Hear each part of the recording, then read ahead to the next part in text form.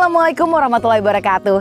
Halo pemirsa, berjumpa kembali dengan saya Vivin dalam program Apa Kabar Pekanbaru. Kalau kita berbicara soal Riau, maka tidak bisa terlepas dengan potensi perkebunan sawit yang menjadi salah satu sumber pendapatan daerah ini. Dan saat ini saya sedang berada di Oil Palm Research Station Topas Riau dan ingin mengajak Anda untuk mengulas lebih lanjut lagi seperti apa benih unggul yang menjadi andalan dari para petani sawit. Untuk itu saya ingin mengajak Anda untuk berbincang-bincang bersama dengan Bapak Yopi Dedi Wiryanto selaku Head of Plant Breeding ASEAN Agri. Yuk!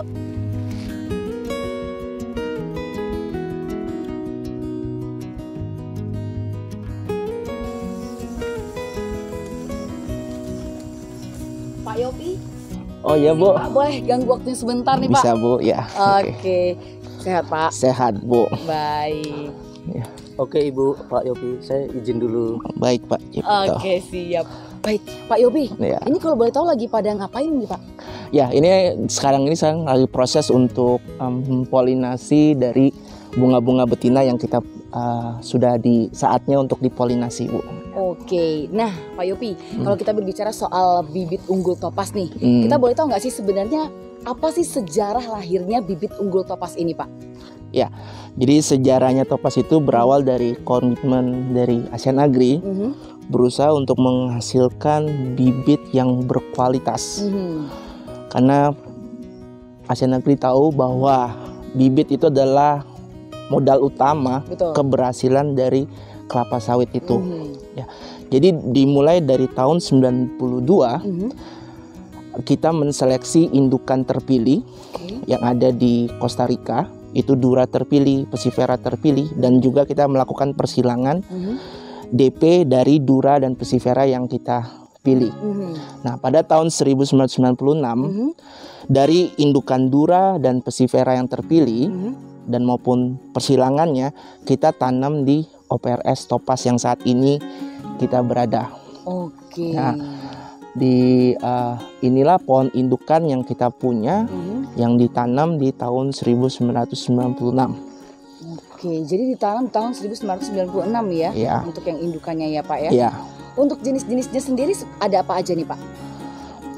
Jadi Topas itu sendiri berdasarkan uji multilokasi yang kita buat karena saat kita mau merilis suatu varietas kita harus ada hasilnya dulu, Bu. Betul. Ada produksinya dulu. Hmm. Jadi uh, saat kita melakukan pengujian generasi satu topas seperti yang tadi sampai sampaikan bahwa dari Costa Rica kita datangkan dan kita tanam Mhm.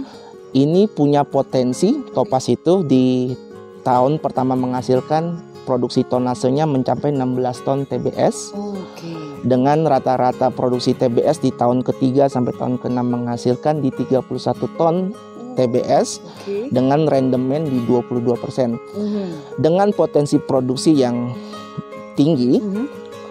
maka pada tahun 2004 Mhm. Topas berhasil mendapat sertifikasi untuk merilis keempat varietas topasnya yaitu Topas 1, Topas 2, Topas 3 dan Topas 4. Mhm. Dengan potensi itulah eh, Topas berhasil eh, merilis varietasnya dengan potensi yang produksi tinggi. Nah, dikarenakan ada 5C yang Mhm. kami prinsip yang dimiliki oleh ASEAN Agri Betul. yang salah satunya adalah good for, uh, for customer. Mhm. Artinya kita berusaha untuk selalu memberikan yang terbaik Baik. Mhm. bagi customer. Betul. Sehingga kita melakukan juga riset pengujian. Kalau tadi generasi satu Bu, saat Betul. kita merilis potensi 16 ton TM1, 31 ton Mhm. di TM 3 sampai 6. Bagi kami ini sudah cukup tinggi tapi uh, perusahaan berusaha untuk memberikan yang jauh lebih baik lagi Inovasi yang inovasi lebih baik lagi ya sehingga kita melakukan evaluasi di generasi duanya Mhm. dan kita mendapatkan persilangan-persilangan yang mampu menghasilkan produksi di TM1 di 24 ton. Oke, jadi meningkat Kat lagi ya, kalau generasi 16 ton kita udah bisa dapat 24 ton di generasi 2. Dan rata-rata produksi di tahun ketiga ke-6 menghasilkan Mhm. kalau di generasi 1 satu kita hanya sampai dengan 31 ton. Oke. Ini kita udah bisa menghasilkan di 38 ton. Wah. lebih tinggi lagi. Dan yang ditambah lagi, gimana pun kita akan menghasilkan minyak bu dari Hmm, kapal pesawat ini. Nah, Hmm. sebelumnya rendemen minyak kita di 22% generasi satu Mhm. Dan pengujian generasi 2 kita yang kita pilih saat ini sudah bisa menghasilkan rendemen di 29%. Oke. Jadi kita selalu berusaha untuk yang beli yang terbaik lagi untuk customer kita. Oke, jadi memang semakin meningkatkan inovasi sehingga uh, efisiensi, kemudian juga sampai dengan tadi uh, hasil minyaknya juga jadi lebih meningkat ya. Betul bu, ya. Luar biasa. Nah, kalau untuk potensi produksinya sendiri, Hmm. itu berapa tuh Pak? Ya tadi Hmm. kalau untuk yang saat ini kita jual Betul. berdasarkan riset generasi dua kita, Hmm, hmm. kita hanya menjual persilangan-persilangan yang mampu menghasilkan tonase di 24 ton TBS Oke. tandan buah segar Mhm, pada tahun pertama menghasilkan Mhm. dan rata-rata 38 ton tandan buah segar pada tahun ketiga sampai tahun keenam menghasilkan mhm. dengan rendemen minyak 29% itu kalau di kita konversikan ke CPO yang bisa dihasilkan itu bisa mencapai di 10 ton CPO per hektar per tahunnya. Biasa sekali ya pemirsa. Jadi memang ini adalah bibit unggul tapas yang memang menjadi andalan oleh para petani sawit di Riau ya. Betul Bu ya. Nah, kalau misalnya kita berbicara juga soal uh, keistimewaannya nih, selain dari potensi produksinya, apalagi sih keistimewaan dari bibit unggul tapas ini nih, Pak Yopi? Jadi eh, sekali lagi karena komitmen ASEAN Agri yang selalu berusaha untuk memberi yang terbaik, Betul? saat kita sudah mencapai eh, kuantitas produksi yang sangat tinggi, yang Betul. sangat saya bisa bilang luar biasa Luar tinggi, Aha. kita coba untuk mengembangkan satu bahan tanam yang memang tahan terhadap penyakit yang sangat menakutkan di kelapa sawit yaitu Ganoderma. Oh, oke. Jadi dan hasil pengujian bersama dengan dukungan dari tim pest and disease kita yang ahli Mhm. sehingga kita bisa menghasilkan tan- bahan tanaman yang tahan terhadap penyakit Ganoderma ini. Hmm. Sehingga pada tahun 2019 Mhm. kita berhasil merilis varietas terbaru dari Topaz itu sendiri yang kita kenal dengan Topaz GT. Hmm.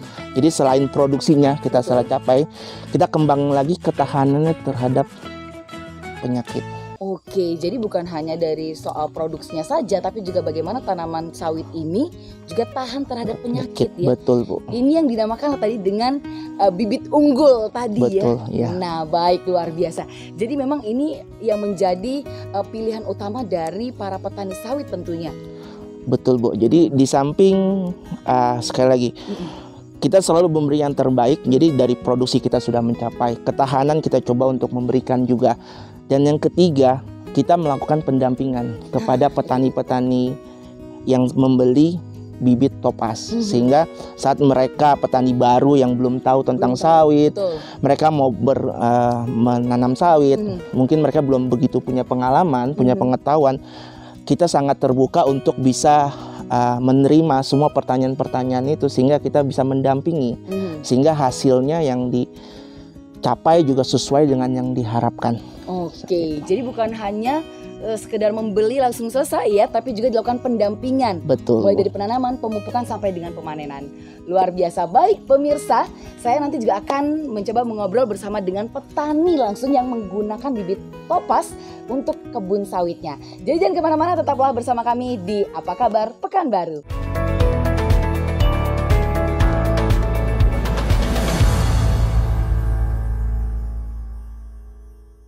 Gaya hidup baru dengan protokol kesehatan.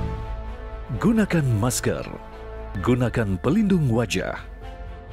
Selalu mencuci tangan. Gunakan hand sanitizer. Hindari keramaian. Istirahat yang cukup. Gunakan perlengkapan ibadah pribadi. Gunakan perlengkapan makan pribadi. Selalu menjaga jarak olahraga teratur, suplemen dan vitamin, persembahan TV One tetap menjaga kesehatan tubuh dan lingkungan Anda. Disiplin 3M akan membantu mencegah penularan virus COVID-19. Menggunakan masker ketika keluar rumah, terlebih dalam kerumunan. Mencuci tangan dengan sabun dan air mengalir. Menjaga jarak minimal satu setengah sampai 2 meter. Bersatu melawan Corona.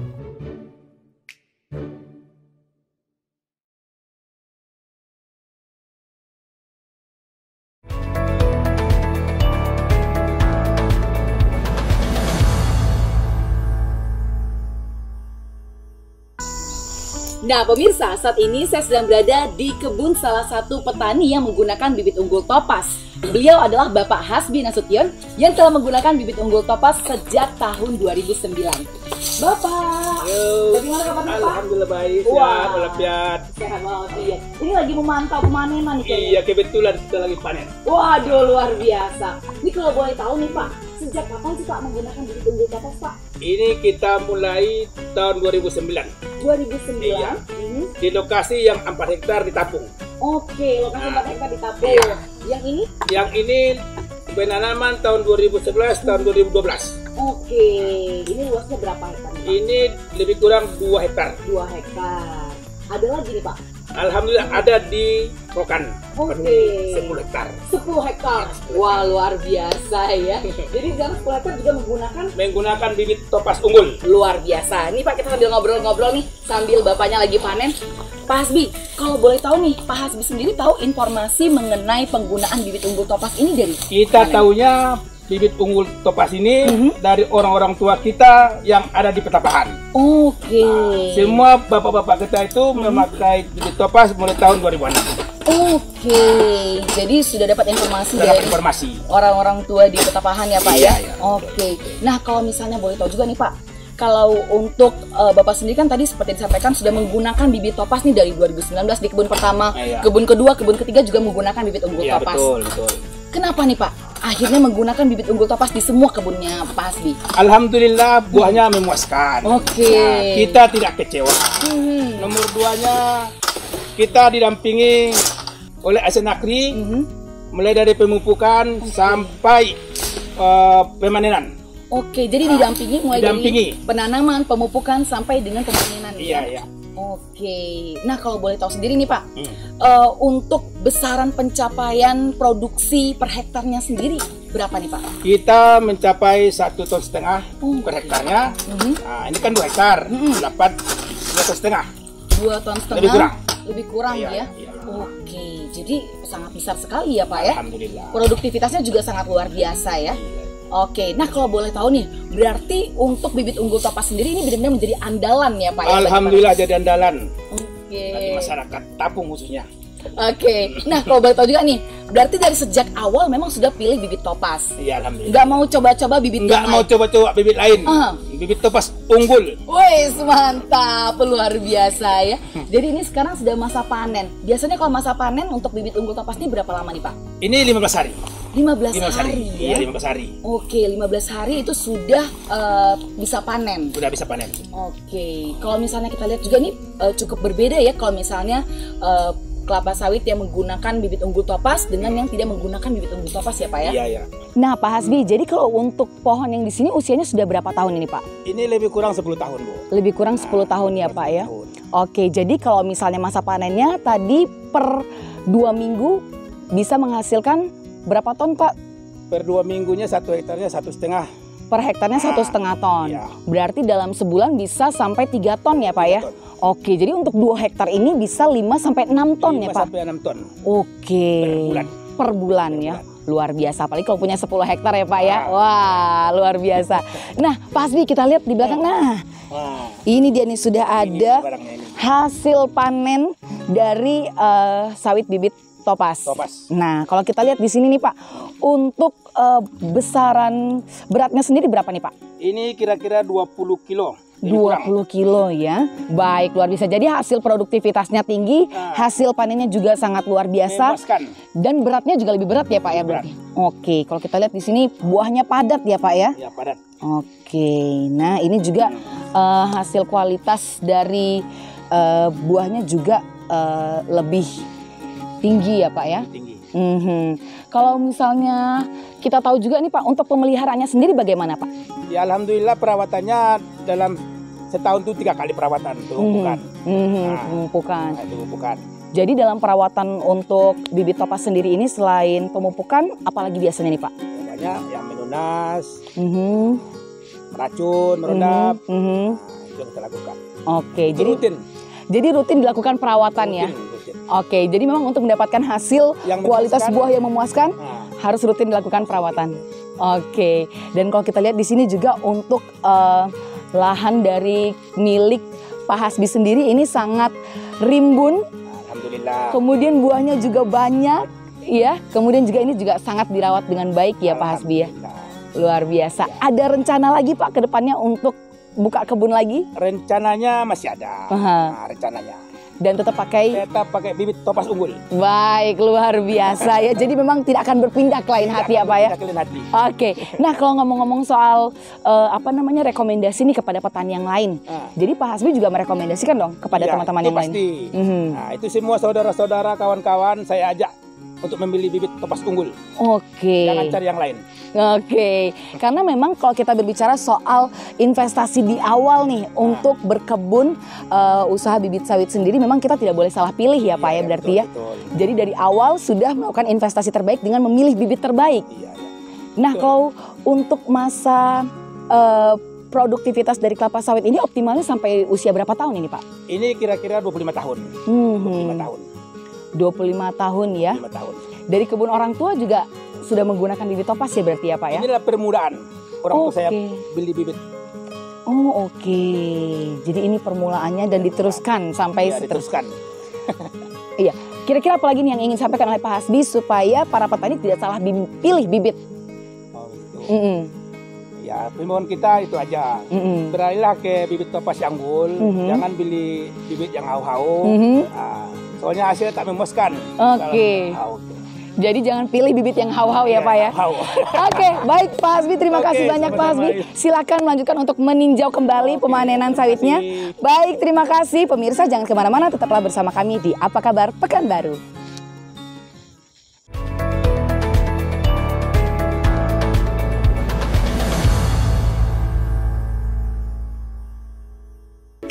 Disiplin 3M akan membantu mencegah penularan virus COVID-19.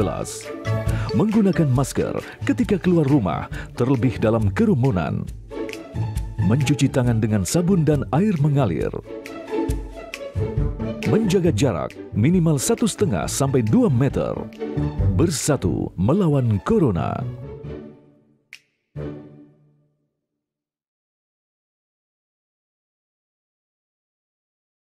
Gaya hidup baru dengan protokol kesehatan. Gunakan masker. Gunakan pelindung wajah. Selalu mencuci tangan. Gunakan hand sanitizer. Hindari keramaian. Istirahat yang cukup. Gunakan perlengkapan ibadah pribadi. Gunakan perlengkapan makan pribadi. Selalu menjaga jarak olahraga teratur. Suplemen dan vitamin persembahan TV One tetap menjaga kesehatan tubuh dan lingkungan Anda.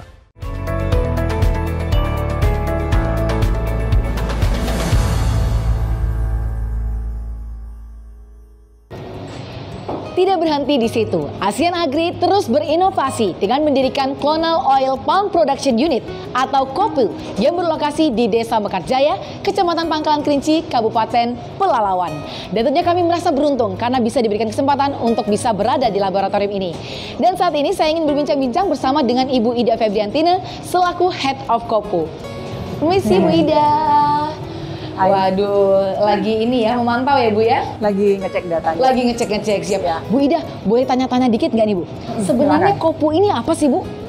Kopu ini adalah lab fasilitas uh, kutu jaringan satu-satunya di ASEAN Agri. Nah di lab ini kita bisa memproduksi sampai 1 juta ramet per tahun. Hmm, satu juta ramet per tahun. Wow, luar biasa sekali. Nah, kalau boleh tahu untuk prosedur kultur jaringan ini sendiri seperti apa sih Bu? Ya, ini merupakan prosedur yang menggunakan cara pembiakan uh, vegetatif ya. Mhm. Jadi dari sini kita dikirim uh, ortet yang sudah diseleksi oleh tim dari pemuliaan. Jadi kita punya tim sendiri untuk menyeleksi ortetnya. Mhm. Kemudian dari situ kita uh, perbanyak melalui metode ini kutu jaringan. Mhm. Uh, kita ambil umbutnya, Oke. kemudian kita potong-potong dan ditanam di media yang khusus. Oh, oke. Dari situ kita uh, akan memiliki ramet setelah maksimum tiga tahun, tapi rata-rata dua tahun kita udah bisa dapat rametnya. Oke, sekitar dua tahun itu sudah dapat trametnya ya. Oke, dan kalau kita lihat di sini aktivitas dari eh, tim labor saat ini sedang melakukan prosedur kultur jaringan tersebut ya Ibu ya. Oke, nah kalau boleh tahu nih Bu, kalau eh, dari Kopu sendiri nih, kenapa memilih prosedur kultur jaringan? Ya, nampaknya Karena- sulit ya. Iya nih, kayaknya nih luar biasa nih Ya. tim kan apa namanya cukup bekerja keras sekali nih untuk menghasilkan bibit unggul ini. Kenapa memilih prosedur kultur jaringan ini? Uh, kita pilih cara ini karena Mhm. ini kan merupakan cara vegetatif Oke. yang mungkin untuk dilakukan di oil palm. Hmm. Tidak semua cara vegetatif bisa dilakukan di kelapa sawit. Oh, oke. Ya. Jadi uh, dengan cara vegetatif itu kita mempunyai keyakinan yang lebih bahwa nanti karakter bagus dari indukannya bisa kita ambil untuk anakannya. Oke, jadi segala yang unggul dari induk ini yang kita akan dapatkan ya. Nah, kalau ini apa nih, Bu? Nah, Inilah boleh dijelaskan uh, salah satu bentukan dari uh, kultur. Mhm. Ini namanya embroid. Oke. Embroid ini uh, kita tanam di media khusus Mhm. sampai dia bisa menumbuhkan semacam uh, Tunasnya. ada gitu tunasnya, ya? ada Oke. tunasnya. Mhm. ya. Nah dari sini kemudian kita uh, induksi dia supaya tunasnya makin panjang, Mhm. makin panjang, kemudian bisa kita induksi untuk perakarannya. Hmm, Oke. Ini sudah siap tanam berarti? Ini belum, Oh, belum. belum. Dari Jadi sini masih ada lagi. masih ada tahapan lagi. Oke. Makanya panjang sampai Hmm. dua tahun. sampai 2 tahun. Ya. Tetapi ini unggul mengikuti induknya. Iya. Nah, oke. Luar biasa ya. Nah, Bu Ida kalau boleh tahu juga ini kan eh, cukup ramai juga tenaga kerja ini. Kalau boleh tahu dari mana nih Bu Ida? Ya, ini anak-anak muda yang Hmm. datang dari uh, desa sekitar, dari Pangkalan Keringki juga. Oke. Nah, mereka datang ke sini untuk mencari pekerjaan. Mhm. Pada umumnya memang uh, sedikit pengetahuan uh, yang mereka bawa ya. Betul. Jadi Mhm. kita mempunyai kewajiban untuk memberi training mereka, Mhm. membe- membekali mereka dengan pengetahuan yang cukup Mhm. supaya pada saat nantinya Mhm. mereka diperlukan di di lab ini bermanfaat dan bisa melakukan fungsinya dengan baik di lab. Waduh luar biasa ya pemirsa ya. Jadi memang merangkul dari masyarakat setempat. Baik, luar biasa. Baik pemirsa jangan ke mana-mana karena setelah ini kita masih akan lanjutkan lagi perbincangan masih untuk membahas bibit unggul sawit. Nah jangan ke mana-mana tetaplah di Apa Kabar Pekanbaru.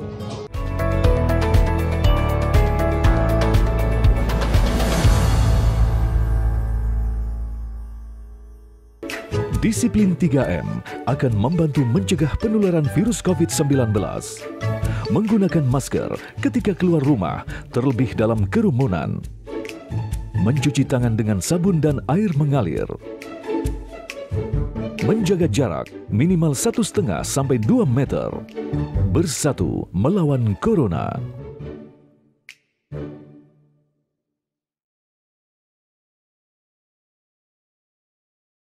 Disiplin 3M mencegah penularan virus corona, mencuci tangan dengan sabun dan air mengalir, menggunakan masker ketika keluar rumah, terlebih dalam kerumunan, menjaga jarak minimal 1,5 sampai 2 meter, bersatu melawan corona.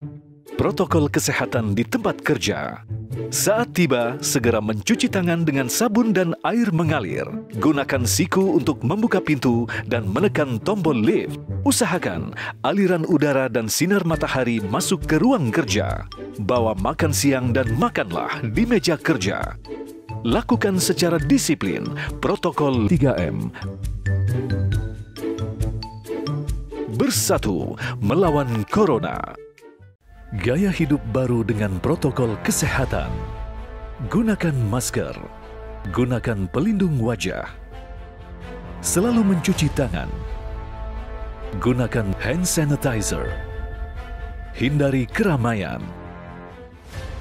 Istirahat yang cukup. Gunakan perlengkapan ibadah pribadi. Gunakan perlengkapan makan pribadi. Selalu menjaga jarak olahraga teratur. Suplemen dan vitamin, persembahan TV One tetap menjaga kesehatan tubuh dan lingkungan Anda.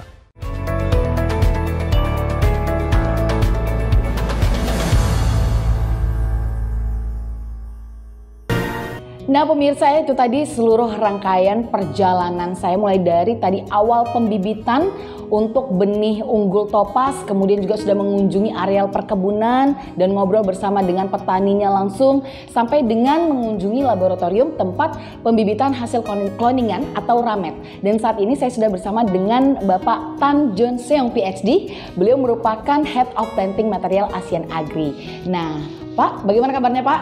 Kabar baik. Kabar baik. Nah, Pak Tan, tadi kan saya sudah melihat langsung prosedur kultur jaringan yang ada di laboratorium. Kira-kira nih Pak, sebenarnya peluang mana yang lebih menjanjikan antara bibit hasil cloningan atau ramet dengan bibit dari kecambah Pak? Jadi uh, secara dasarnya uh, waktu penghasilan untuk bibit kecambah dan juga ramet mm-hmm. cukup beda sekali. Untuk kecambah, mm-hmm. Uh, kita memerlukan waktu sekitar uh, 9 hingga 10 bulan di lapangan. Uh, dan juga seleksi di laboratorium uh, seperti yang uh, ibu sudah jumpa di uh, Topaz tadi. Uh, manakala untuk uh, penghasilan ramet ia memerlukan sekitar uh, dua tahun okay. untuk mendapat rametnya. Oke, jadi kalau misalnya untuk bibit dari kecambah 9 sampai 10 bulan untuk mendapatkan ramet itu uh, kurang lebih 2 tahun berarti ya Pak ya? Iya betul. Oke, nah kalau misalnya nih di Kopu sendiri selain menghasilkan bahan komersial, bahan apa lagi nih yang dihasilkan di Kopu ini? Oke, selain daripada bahan komersial uh, tenera yang kita menghasilkan di sini, kita juga akan membuat seleksi untuk indukan dura dan pasiferanya, di mana kita akan buat cloning uh, untuk indukan ini supaya ia bisa dijadikan indukan untuk menghasilkan bibit semi klonal dan biklonal di masa yang depan. Oke. Nah, Pak Tan, sebagai Head of Planting Material ASEAN Agri, apa kira-kira harapan ke depannya Pak Tan terhadap industri perkebunan kelapa sawit di Indonesia? Okey, harapan kita uh, ke depan adalah uh, dengan adanya R&D hmm. sebab hanya melalui R&D itu kita bisa memaksimalkan potensi genetik uh, materialnya. Selain daripada itu, uh, ada juga satu aspek yang penting iaitu uh, pengembangan dan penelitian di lapangan supaya kita kita memaksimalkan kondisi di lapangan untuk uh, mengekstraksi potensi uh, genetiknya. Okey uh, selain daripada apa yang kita sudah ada sekarang.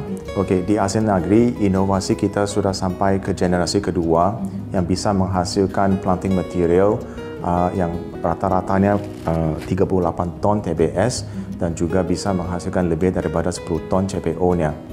Okey. Nah, di sini juga kita juga ada menghasilkan uh, bahan-bahan uh, uh, semiklonal, biklonal dan juga uh, rametnya. Hmm yang diharapkan bisa menjadi dongkrak untuk uh, industri sawit uh, di Indonesia.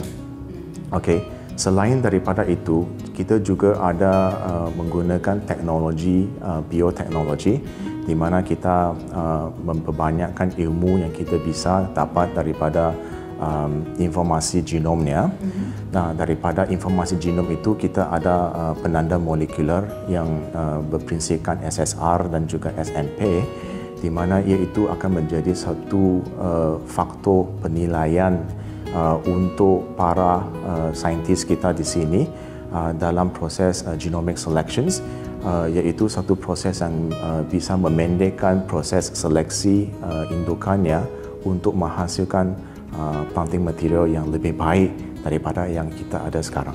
Oke, baik luar biasa. Nah, mungkin terakhir Pak Tan sebagai closing statement dan juga terkait dengan komitmen ASEAN Agri terhadap perkebunan industri kelapa sawit. Di ASEAN Agri kita memegang uh, prinsip 5C yaitu uh, good for climate, good for country, good for community, good for customer dan akhir sekali good for company. Oke, baik luar biasa. Terima kasih Pak Tan atas perbincangannya tentunya. Ya. Dengan pengembangan dan penelitian yang terus dilakukan sampai dengan saat ini, ASEAN Agri percaya dapat menghasilkan kelapa sawit berkelanjutan tanpa harus membuka lahan. Dan dengan inovasi yang terus dilakukan, tentunya diharapkan akan dapat meningkatkan produktivitas dari minyak kelapa sawit mentah atau CPO di Indonesia dan terus semakin mendunia. Akhirnya, saya Vivin Anjari Suito, mewakili kru yang bertugas, pamit undur diri. Sampai berjumpa di topik selanjutnya di Apa Kabar Pekan Baru. Wassalamualaikum warahmatullahi wabarakatuh. Sampai jumpa.